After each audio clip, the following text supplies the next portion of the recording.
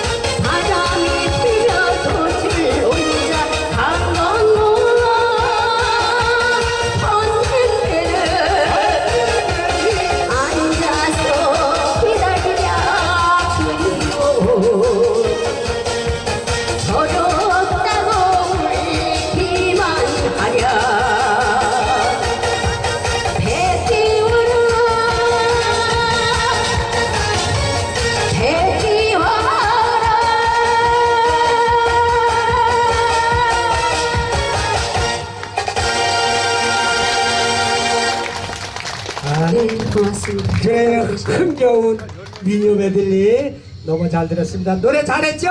네. 유명수 가수 박수 한번 더 주세요. 네, 좋은 하루 되시기 바랍니다. 아, 네. 네, 노래 잘 들었습니다.